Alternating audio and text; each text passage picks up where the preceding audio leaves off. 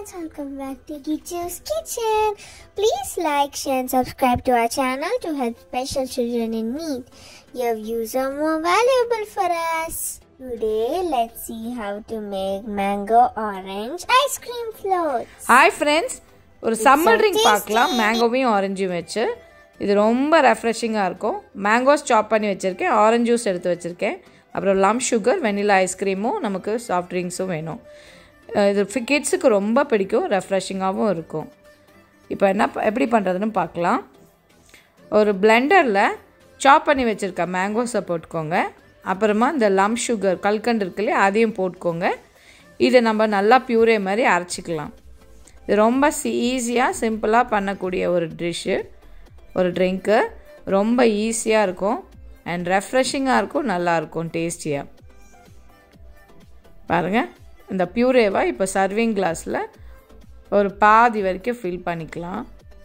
Mango பியூரேவை அது கூட நம்ம ஃப்ரெஷ்ஷாக ஆரஞ்சு ஜூஸ் எடுத்து வச்சுருக்கோம் ஒரு ஐம்பது எம்எல் அதில் ஊற்றிக்கலாம் இது உங்களுக்கு லேயர் லேயர் மாதிரி தெரியும். ரொம்ப அழகாக இருக்கும் பார்க்குறதுக்கே அதுக்கப்புறம் மிச்சம் இருக்கிற அந்த கேப் ஸ்பேஸ்க்கு நம்ம சாஃப்ட் ட்ரிங்க்ஸ் ஊற்றிக்கலாம் இப்போது ஆரஞ்ச் சாஃப்ட் ட்ரிங்க்ஸ் தான் இதோட நல்லா இருக்கும். ஸ்ப்ரைட்டும் ட்ரை பண்ணலாம் நீங்கள் பட் ஆனால் ஆரஞ்ச் தான் நல்லாயிருக்கும் இப்போது ஃபைனலாக நம்ம இது கூட வெனிலா ஐஸ்கிரீமை டாப் பண்ணலாம்.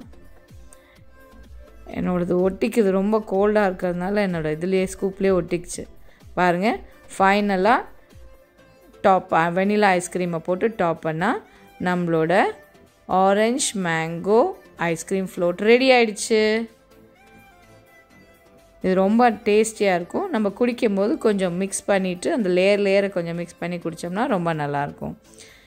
கிட் குழந்தைங்களுக்கு ரொம்ப பிடிக்கும். சம்மர் டைமில் நமக்கு என்ன ஒரே மாதிரி ஜூஸ் குடிக்க போர் அடிச்சு போயிடும். இந்த மாதிரி கொஞ்சம் வித்தியாசமாக பண்ணி கொடுத்தீங்கன்னா அவங்களும் நல்லா என்ஜாய் பண்ணி குடிப்பாங்க. தே ஆல் என்ஜாய் எங்கள் கிட்ஸ்க்கெல்லாம் ரொம்ப பிடிச்சிருந்தது.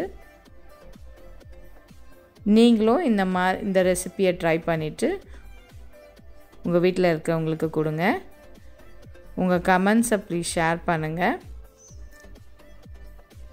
இந்த வீடியோ உங்களுக்கு பிடிச்சிருக்கோன்னு நம்புகிறோம்